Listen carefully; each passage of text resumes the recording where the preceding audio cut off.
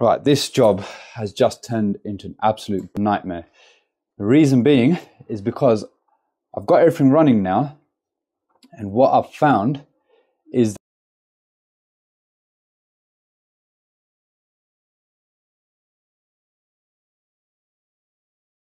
Welcome, thanks for tuning into this week's video.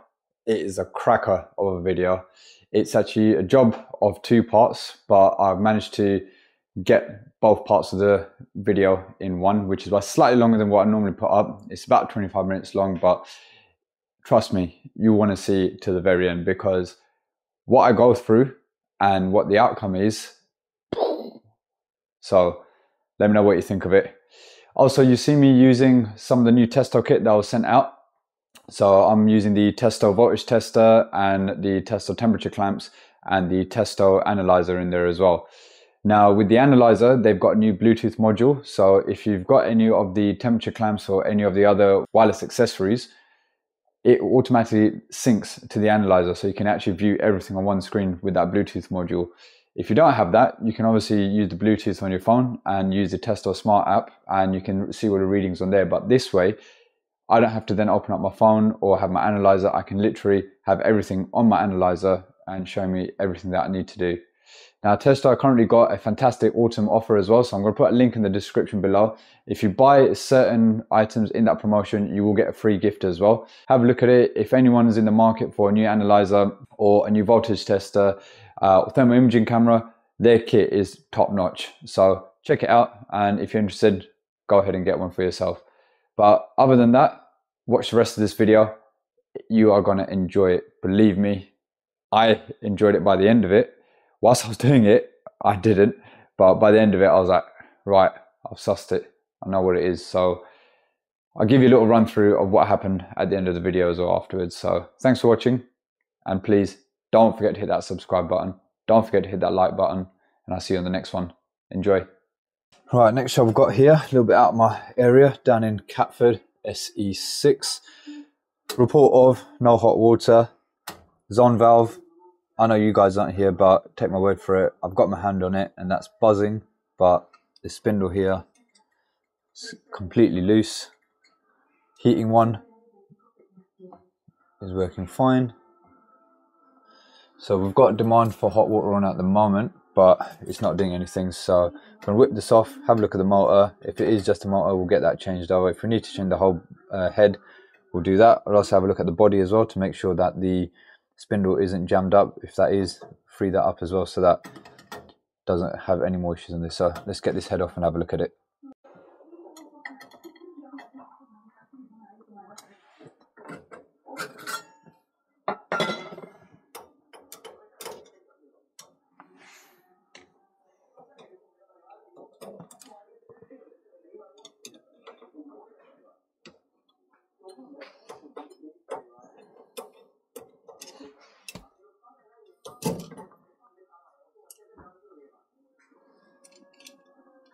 Right, so I've got the head off.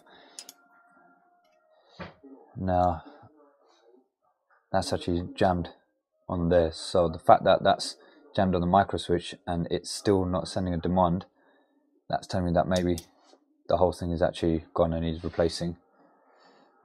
That body, yeah. That's probably because, yeah that whole body's going to need replacing by the looks of it. Mm. So it's not going to be as straightforward as just changing that. I have to change the whole body. But again, don't know if I've got movement there or if I'll just have to change the guts. Let's have a look. Right, so I'm going to change the whole valve over. I'm going to drain it out from here, but typical that's leaking as well. So I'm going to swap that isolation valve out, drain the system out from here, and then swap out the zone valve as well. I've also noticed that this combination valve here has been dripping. There's a bit of a drip coming from there. So I'm going to take details of the cylinder and I'm going to come back and replace the combination valve, the PRV, TPRV, because you can see that's been going as well. And when I do that, I'll recharge the expansion bubble inside the cylinder as well. So try and give it an overall service as well in that respect. But first things first, let's just get this done today.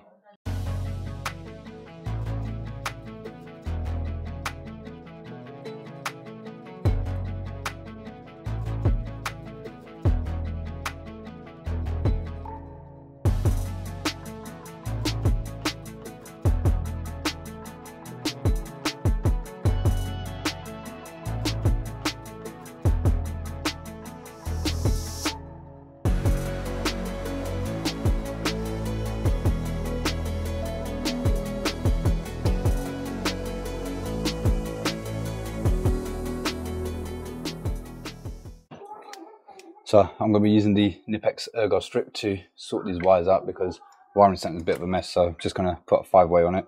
This is the right handed one. So this is code is 169501. They also do a left handed version as well, but it just makes stripping cables so much more easier. A couple of turns, pulls off, and then even on the side here, it's got the different cable sizes as well. So you can put your wire into the right size and just strip the ends off so pop it into there. See? Easy as that.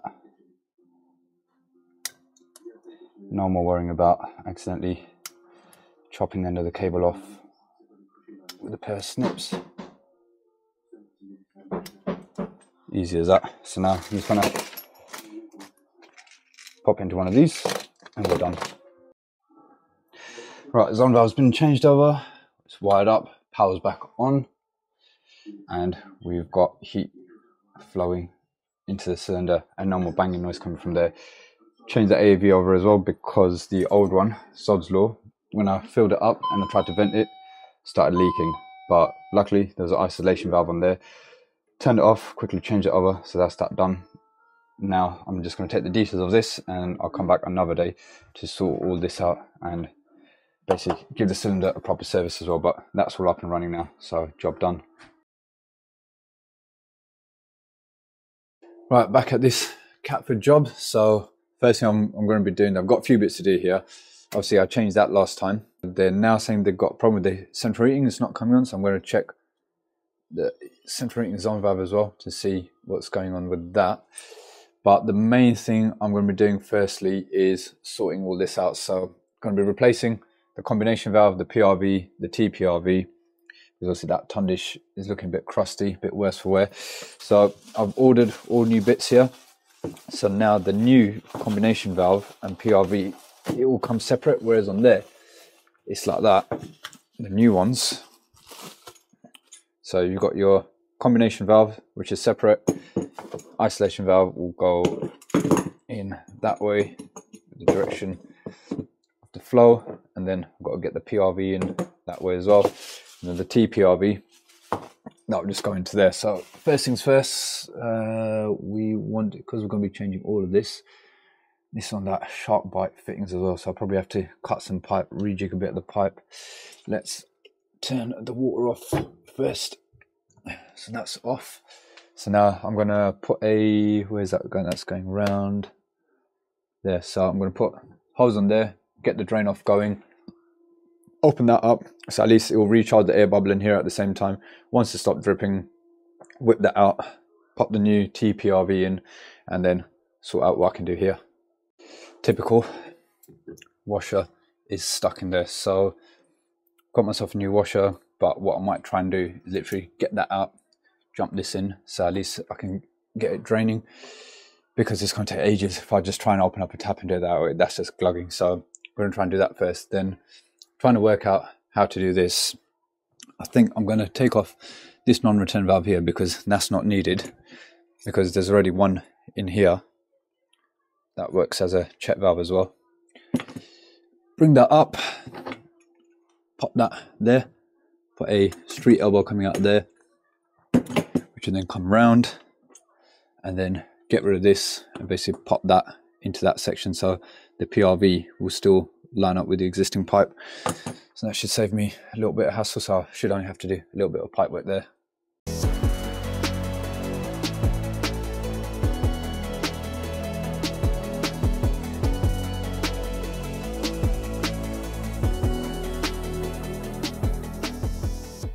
Now, let me see. I've got water coming out the hose. Yeah, got more coming out there. Perfect. So now I can set my grips back up on the TPRV, get that draining. There we go. So I'll just basically get my set of grips on there and the weight of it just holds the TPRV open. We should be getting, yeah, that's better. Still not great, but it's better than what it was. So at least now, whilst that's doing its thing, I can start working on this, I reckon.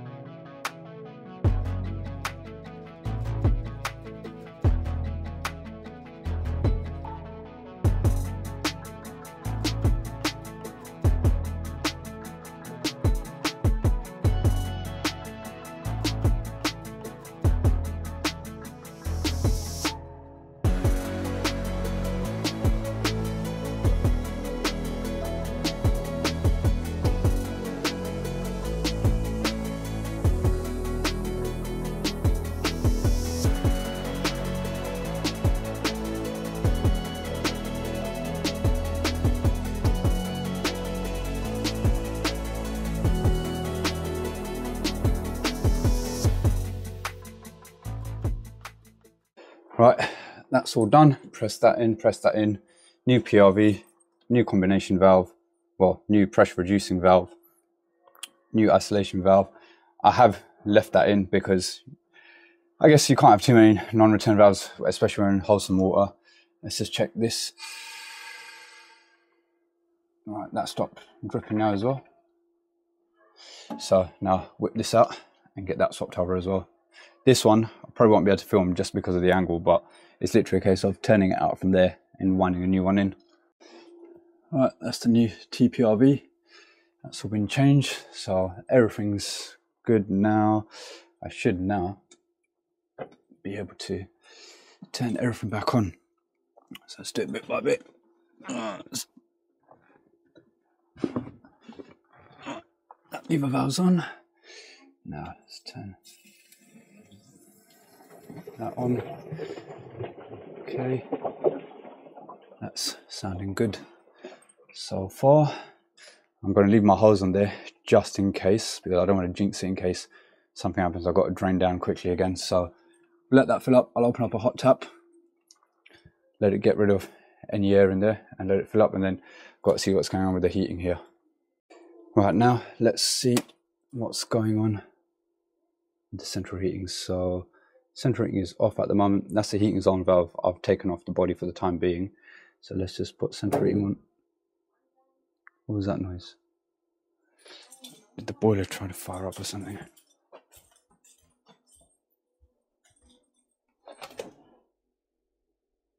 Uh, might have done a bit of pumper. I think that's why it needs a bypass because it's making that banging noise. Right, so let's put heating on. And now let's go and put the thermostat up. Okay, thermostat's up. Now, is this moving? No. That's not doing anything. So there's two ways we can check this now. I can either open up the wiring center and see if I've got power coming from the room stat, or I can start at the room stat check if I've got power going to the room stat because I don't know about you, but the light, the backlight on that programmer looks a bit dim. So I'm assuming this could have become faulty and not the zone valve. So I think let's go and check on the room stat. Have we got power on the common? And if we do, and we've got power on the switch, if we do, then we'll come to the wiring center step by step. Okay, so got the room stat cover off. Now let's have a look. So we've got heating demand on from the programmer. Let's put one probe on the earth. One on the common. Right, got nothing there. Let's check between neutral Yeah, nothing on there. Just get that back on the neutral. Cool. So that's telling me we haven't got power going to the room's thermostat, which means my suspicions were correct. Got a faulty programmer. Okay, new programmer's on. That was a nice easy swap, literally same backplate, whip the old one off, pop the new one on. Put some power in there. Heating side. Oh. Right, heating's on constant. Let's go and check our room stat now. So now I should be getting, so I've turned the room stat dial down. One probe on the earth. Now, there we go. 230 on there. Obviously nothing on there at the moment, but as soon as I turn that up, I've now got 230 on there. And as I go over here, that heating's on valve should have motored over which it has. And I've heard the click, so now we should be getting demand on the boiler here, which you do. Happy days. I thought it was a zone valve because obviously I changed the other one last time. So I brought zone valves with me, I bought Synchron motors with me just in case. But one look at that programmer, the display had me thinking it's probably going to be that programmer. And that's why you always, whenever you're doing fault finding on anything, but especially on wiring, start at the source. Don't assume that it's going to be a zone valve or this, that, the other. Start at the source. The source is going to be your programmer. That's where all the signals go out from for your heating or hot water, whether it's S plan, Y plan, W plan, whatever. Start from your programmer. Work your way step by step by step. Otherwise, I could easily just started messing around with the wiring center there, doing all this, that, the other, still no progress. Ended up checking that first, found out that was the fault, job done. Hope you found that helpful. So I've also got to fit a bypass in just under there because there's no bypass. It's on an S plan. There's no bypass put in and it's all spaghetti junction. I've got nowhere to fit the bypass there. So the only place I can fit it is under the boiler. And the reason I've got to fit one, uh, it's a spam call. Every time the demand finishes, they're getting a knocking sound because obviously zone valve shut, pump's got nowhere to dissipate the heat. So it's just going bang every time it shuts. So hopefully fit a bypass underneath there. That should sort the, the banging noise out as well. Okay, slight change of plan here. I decided to find a space to put in the airing cupboard because under the boiler, just as I was about to start, I realized I'm not going to have enough play to move the pipe up and down to get those T's in. So I have managed to find space in the airing cupboard to get the bypass in. So we've got a primary flow coming up here. Managed to get enough space on here to cut a T into there, bring that round. Now this gate valve was originally where this T is. So I managed to cut that back a bit, move the gate valve towards the back, and then I've got the bypass going in straight there. And that's got enough space there if I ever need to work on the two port, got enough space if I need to work on that two port. So I've done it in a way that if there's any other work that needs to be done, still try and keep it as accessible as possible. So the compression's all done up. I've just got to press all these press fittings in and then I can fill up the system again.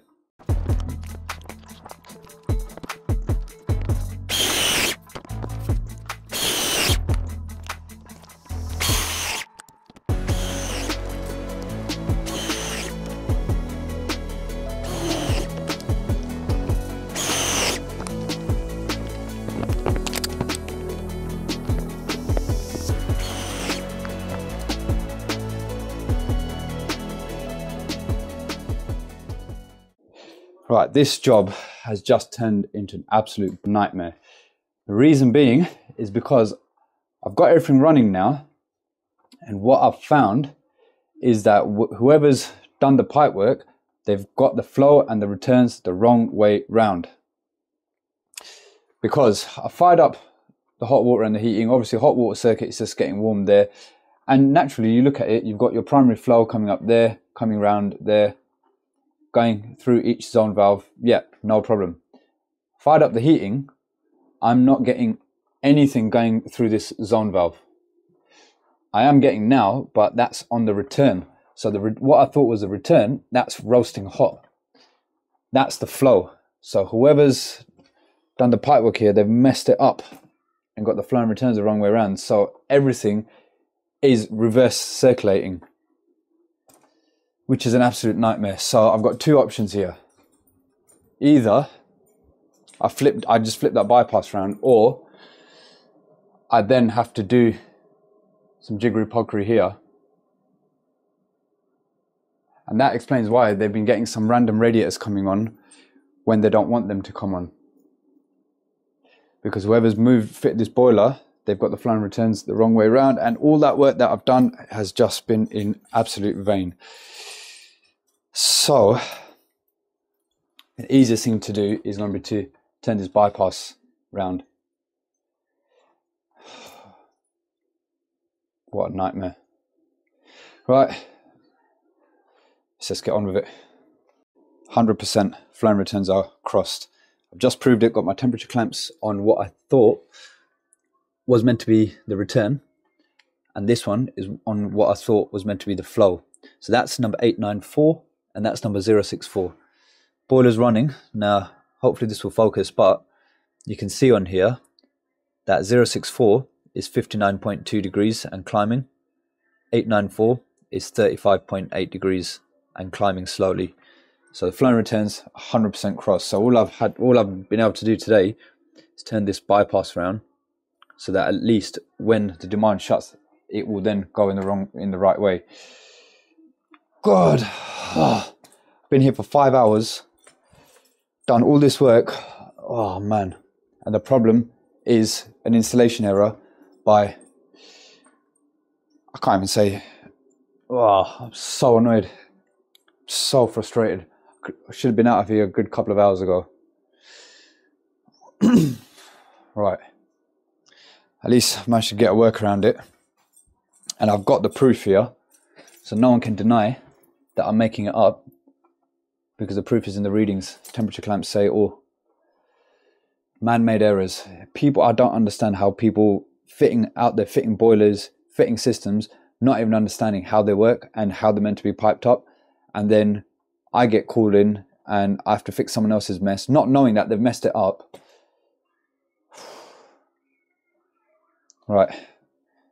It's a workaround. I've turned the bypass the other way around. You can have it with the zone valves on the return. It's not a problem. But I don't know what else. Look, there's a, all that mishmash there.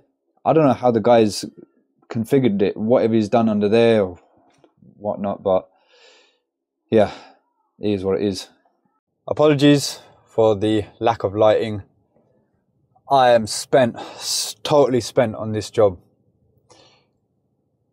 I clocked at the end and I realized that it was piped up the wrong way around. The reason why getting a banging noise every time the zone valve shuts because the zone valves are piped up the wrong way around. Well, they're piped up the right way around, but because the flow and returns have been crossed, the little ball inside, when it's shutting, the force of the pump is bang, shutting it.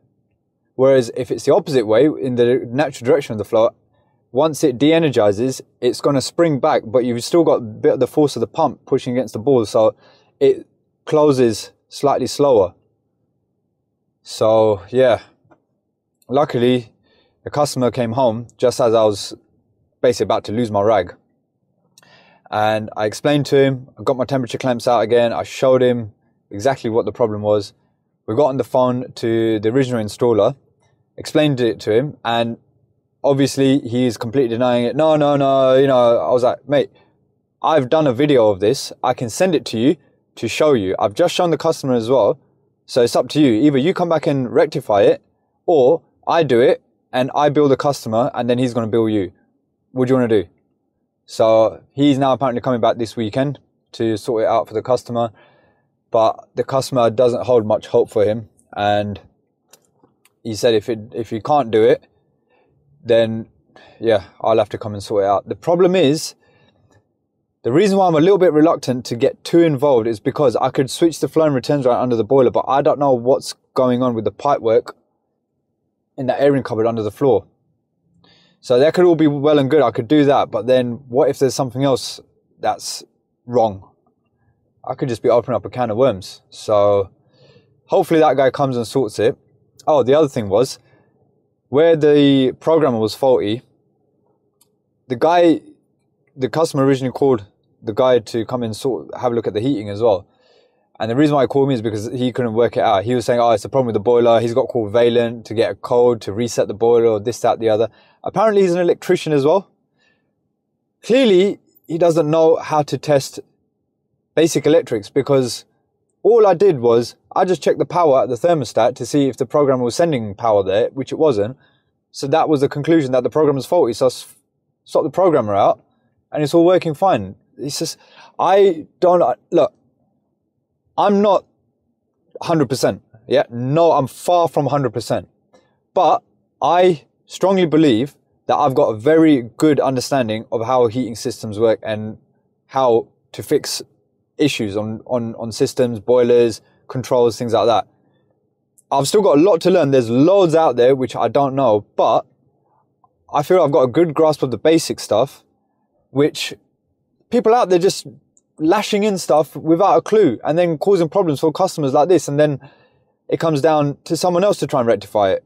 And then when you try and tell them that you've done something wrong, they just like get the backup. No, no, no, no, no. I'm like, no, uh, the proof is in the pudding. Like I've proved it that it's wrong. So how can you deny it? Sorry, I'm rambling on a bit. It's just I've I've been here for five hours. Okay, I'm really frustrated. I've now got. Let me see how long my journey home is. Even it's going to be. It's quarter past six, and I've got to get to.